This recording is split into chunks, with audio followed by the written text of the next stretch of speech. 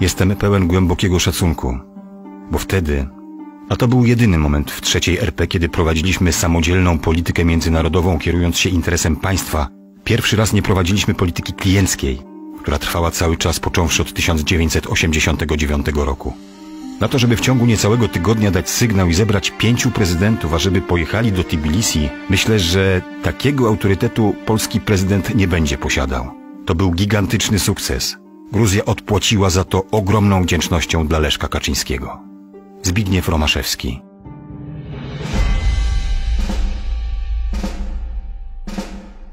Ktoś, kto tyle poświęca przyjacielowi w trudnych chwilach, pomaga także sobie i swojemu krajowi. Pomaga, bo walcząc o wolność kogoś, walczy też o wolność swoją. Czy rozumiecie teraz, dlaczego Gruzini tak kochali i szanowali waszego prezydenta? Ojciec Izajasz, gruziński duchowny.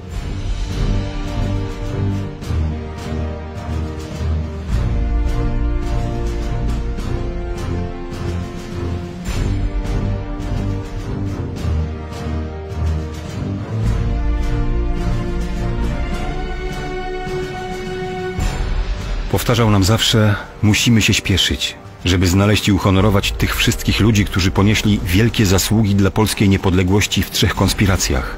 Wojennej, żołnierzy wyklętych, powojennej i w konspiracji opozycji demokratycznej, podziemnej Solidarności. Ciągle nam mówił, że powinniśmy się śpieszyć, bo nie zdążymy. I rzeczywiście nie zdążyliśmy, bo zabrakło tego, który te ordery miał przypinać. Maciej Łopiński.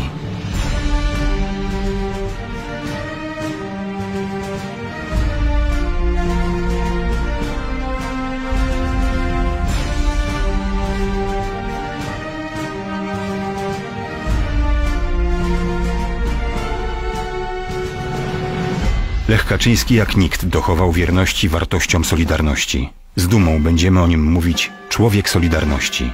Janusz Śniadek.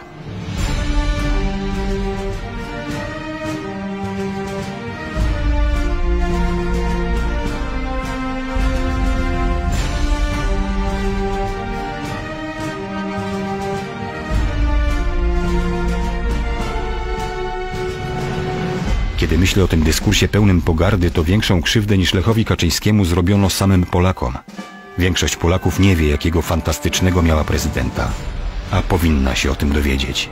Barbara Fedyszak-Radziejowska